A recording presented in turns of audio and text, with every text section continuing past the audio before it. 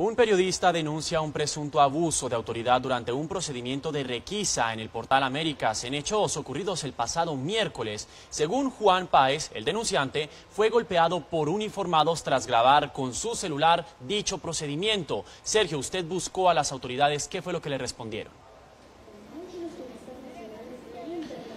Pues inicialmente se ha abierto una investigación disciplinaria contra estos uniformados. En, eh, estos hechos participan un patrullero y también un eh, auxiliar de policía.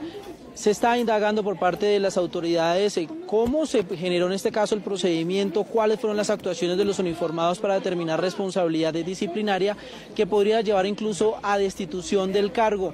Según Juan Páez, el fotoreportero, el fotoperiodista que ha denunciado estos hechos, el uniformado le quitó su celular para borrar, en este caso, el video que pues estamos viendo en pantalla y que pudo, pudo ser recuperado a través de, de una aplicación en internet. Está denunciando también pues que se debe tomar acciones por este tipo de situaciones ya que pues establece en este caso el Código Penal y también el Código Judicial del país que no los uniformados no pueden acceder al, teléfono celular después de una persona al momento de grabar el procedimiento policial. Estaremos muy pendientes de la respuesta que hará de manera oficial la policía a partir de la una de la tarde en la estación de Tunjuelito, en donde también pues se darán declaraciones por parte del afectado sobre lo ocurrido en el portal de las Américas viendo cómo